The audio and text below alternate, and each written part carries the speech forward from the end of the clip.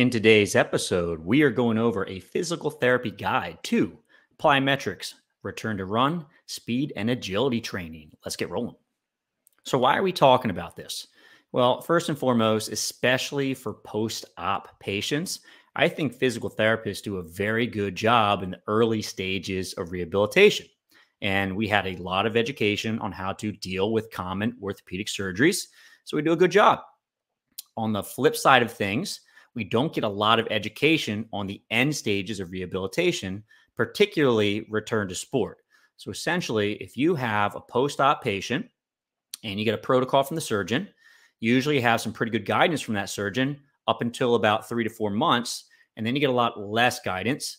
And it's up to the physical therapist to learn how to bridge that gap and get back to high level of a performance for that individual. And this goes for an athlete that's trying to get back to a field sport, but it also goes for the average Joe that maybe wants to get back to some sort of jogging program, or they just want to get back to being able to play pickup sports like, let's say, tennis or basketball or soccer or something along those lines, right? And generally speaking, a lot of the advancement of impact activities is not taught in most physical therapy curriculums, right?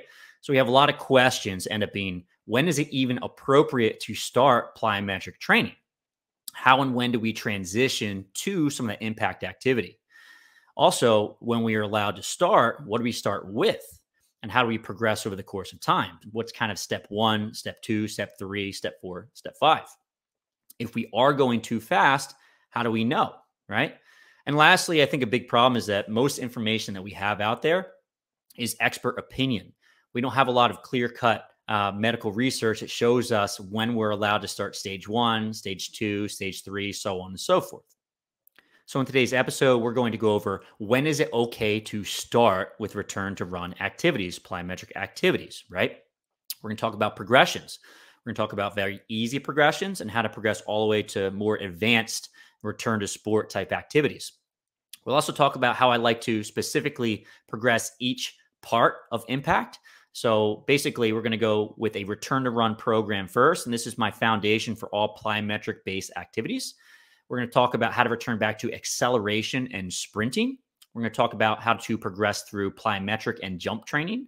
We'll chat about change of direction and agility work. And lastly, we'll talk about conditioning. So once we've built all of these elements together, right? How do we get someone more conditioned so they can return back to sport their activities over the course of time? Welcome to the Fitness Pain Free Show. This is where we help coaches and physical therapists like you get your patients out of pain and back to training. My name is Dan Pope. I'm a physical therapist, coach, personal trainer, and meathead. I have my dream job as a physical therapist, coach, business owner, and educator. I've been doing this for several decades now. I want to help you reach your goals. And that's the whole reason why I run fitnesspainfree.com. This is part two on our series of plyometrics and return to running. If you missed part one, I'll leave a link in the show notes. Definitely check that out before you get started on this one. So, why do we want to wait a little bit to go back to sprinting, right? Compared to when we start jogging? Well, it's obvious, right? When you sprint, it's just going to be more force through the injury site compared to a jog, right? So, it makes sense we start with jogging and we progress our way to sprinting over the course of time. Okay. Your return to run program is going to build the base for sprinting. And typically, I like to do at least four weeks of return to run jogging prior to starting any, any form of sprinting. Okay. When we're talking about sprinting, I actually like to break this down a little bit more. When I think about sprinting, there's two parts of sprinting that I think are important. So, one, you have acceleration. So, essentially, you're starting from zero and accelerating as fast as you can, okay, which is a specific type of stress to your body. Then you have top end speed. So essentially, once you've gotten through the portion of acceleration, now we're maintaining a very high level speed. It's a different type of stress through the body. So I actually break those down. Okay. So when I'm trying to work on acceleration, I focus on drills like fall runs. So falling forward until you're about to land on your face and then just picking up the speed and accelerating quickly. And then when I'm trying to build top end sprint speed, I'll do build up runs. So essentially, you're not accelerating very fast. You slowly build up your speed until you're at a high level where you're maintaining that for a period of time. Let's say that's 5, 10, 15 seconds, right? So I actually break those two apart and work on those separately within a training session. So I will say that prior to starting acceleration as well as top end speed running, we have to do a lot of preparation before we begin, right? So, largely, if I'm going to start at week 18, at week 16, I'm really starting to um, increase the challenge from general strength training to kind of these bridge the gap type exercises that I can handle things like accelerating top end sprinting. So, some of the movements I like to incorporate at week 16 are going to be heavier sled pushes as well as resisted marching. Okay. Now, I like these a bunch because generally they're slower. They're not as stressful to the body, but they're going to put you in a very similar position that you need for accelerating as well as sprinting. Okay. So, week 16, I'm going to be pushing heavy sled pushes. And at week 18, I think the body's taken enough of that stress they can start to begin some of the acceleration exercises. In terms of preparing top end sprinting, I'm a huge fan of A, B, and C marches, skips, and runs. Uh, these are technical drills to work on the basics of sprint mechanics, right? And I've actually made a video that I'll share with you in the show notes to go over the A, the B, and the C skip, uh, just because they're challenging to perform, to learn, and to coach. So I'm going to try to show you how I do it a little bit to help you with your patients. Okay. So look for that in the show notes. Uh, but largely at week 16, I'm starting to incorporate A, B, and C skips and runs, as well as marches, because I think that's going to help prepare my athletes for sprinting that I'm going to start around week 18. So, guys, if you like what you're learning about so far, then I want you to go and check out the Fitness Pain Free mini course. So, I made a mini course. It's absolutely free. That's the next logical step if you want to learn more from me. So, in the course, we go over five lessons. That first lesson is how traditional schooling has failed us, right? So, schooling is phenomenal from a physical therapy perspective, but doesn't really teach you how to work with high level athletes in the fitness world, right? Doesn't always teach you how to do the lifts appropriately. Doesn't teach you about progressions and regressions of common lifts within the gym. Doesn't teach you how to program normally, how to write rehab programs, or how to write injury prevention programs for these folks. Next thing we go over Seven reasons why people get hurt in the gym. Four simple steps to getting your clients out of pain. How to build the career of your dreams and earn the respect of your community.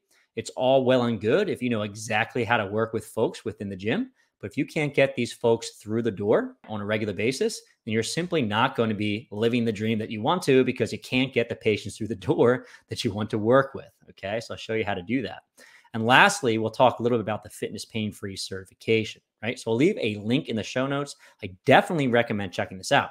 Once you sign up for the fitness pain free mini course, you will be automatically placed in the waitlist for the fitness pain free certification. Now, the fitness pain free certification is the course, the certification that I wish I had as a new grad that fills in all the gaps in knowledge that you don't get in physical therapy school. So, A, you'll gain complete confidence working with injuries in the strength and fitness world. You'll learn optimal technique for both health and performance from myself and some of the best coaches in the world. You'll master programming for rehabilitation and injury prevention.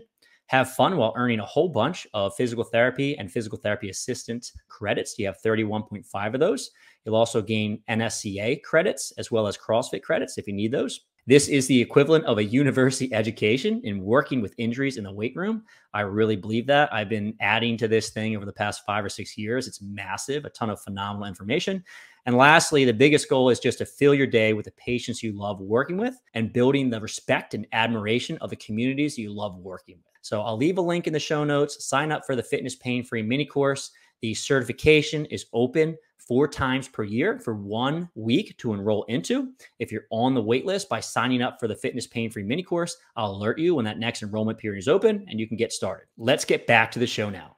So, how do we introduce acceleration? What does a programming look like once we're able to start accelerating at week 18? So, largely going to have my athletes do some form of acceleration two times per week, right? And I usually start them off with fall runs. So, largely a fall run is starting up nice and tall and leaning forward until you feel like you're about to fall forward. And then you start accelerating. Okay. And I typically start with around 15 meters. So we do our fall run and we run through 15 minutes, excuse me, meters and decelerate slowly and walk back to the start, right? I will start my athletes with four to six sets at around a 50 to 60% effort, right? So one of the things you'll see in the medical literature is that they'll start folks with a sprint, but they'll tell folks to start with a certain percentage intensity, right? So you'll see 50% a lot in terms of starting points for folks when they're beginning acceleration as well as sprint work. So that's the same place I start my athletes. Week 19, we're beefing things up slightly. We're still going 15 meters. We're still using the fall runs. I just bumped this up to five to seven sets. Now we're increasing the athlete's perceived intensity. So we go at 60 to 70% effort. Week 20, we bump it up to six to eight sets. We're doing 70 to 80% effort. Week 21, still doing the fall runs, but doing eight plus sets. We're doing 80 to 90% effort, right?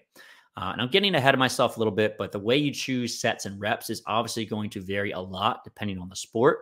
There's a lot of nuance here, but I think what you'll see is we're starting with fewer sets, fewer volume, fewer intensity, and just working our way up over the course of time. I like to introduce top end sprinting in the forms of build-up runs. And what a build-up run is, it's a little bit different than a fall run. With a fall run, you're trying to accelerate as fast as you can right from the get-go, right? So thinking about hitting the gas pedal as hard as you're able to. For build-up run, think about hitting that gas pedal very slowly and then building up, building up, building up, building up. And once you get to a certain speed, so a higher end speed, you're maintaining that for a period of time. Okay. So at week 18, I'll start off with around four to six sets, and I'll have my athletes go 40 to 60 meters. So build up to 50 to 60% effort and maintain that for 40 to 60 meters. Right. Week 19, we just start to uh, speed this up a little bit more. Fifth, or excuse me, five to seven sets, 40 to 60 meters, at 60 to 70% effort. Next week, week 20, we're now doing six to eight sets, and we're bumping it up to 60 to 80 meters. So we're going for a longer distance at 70 to 80% effort. In week 21, we just spruced it up a little bit more. We're doing eight plus sets, 40 to 60 meters, 60 to 80 meters, uh, 80 to 90% effort. So you can see over the course of time, we're just increasing the intensity and increasing the volume slowly. And I just really like build up runs for that, although there's a lot of variation you can choose from.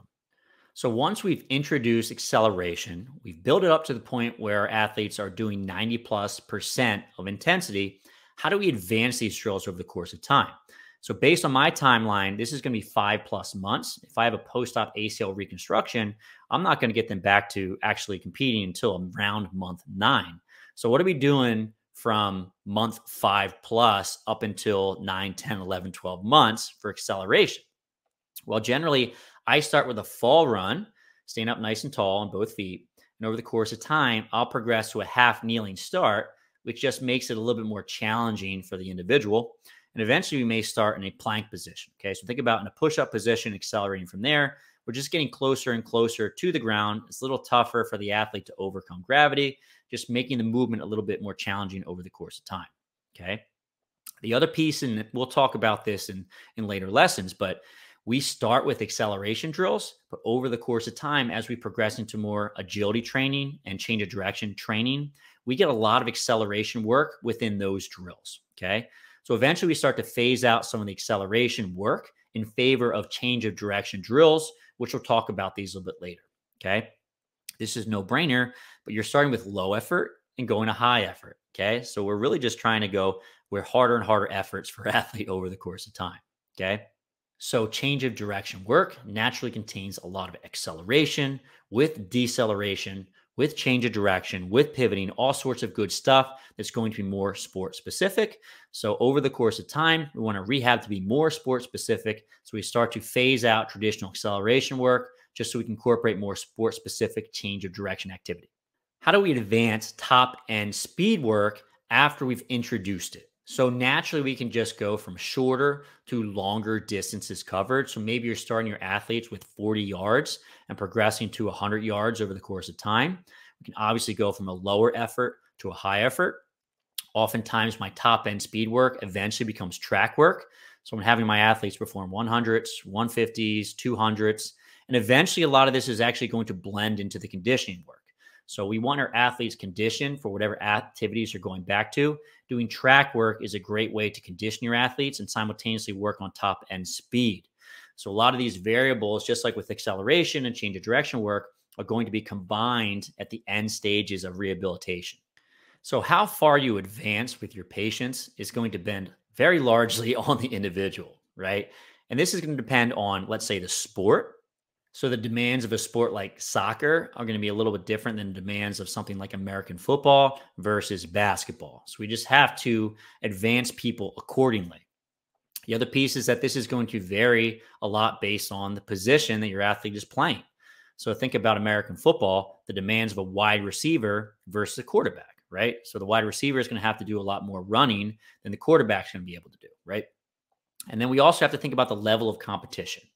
So if you have a soccer player that's going to be competing at a pro level, they have to be able to run a lot. Okay. So the demands are much higher on that individual compared to, let's say, a middle school athlete. Okay. And lastly, you might have the average Joe that wants to get back to some form of soccer recreationally. So they're a weekend warrior. They play, let's say, once a week. The demands of that are going to be entirely different than someone that's going to be playing five, six, seven days per week, right? So just take that in account with your rehabilitation because it has to vary depending on the individual. If you guys enjoyed this lesson and want to learn some more, I have another video for you.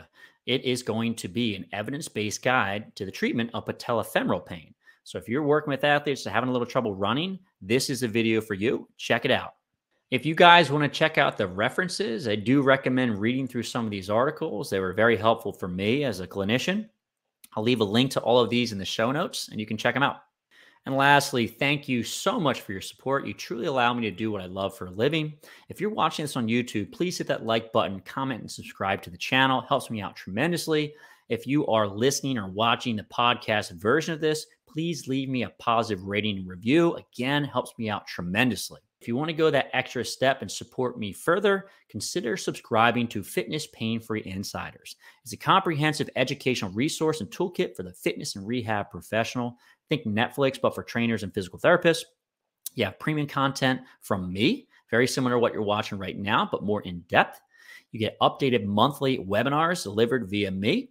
You have over 100 webinars, ebooks, and complete guides at your disposal. You have access to a private Facebook group to have all your questions answered by me. You can decide upcoming podcast topics. And the best part is you can get started for just a dollar, right?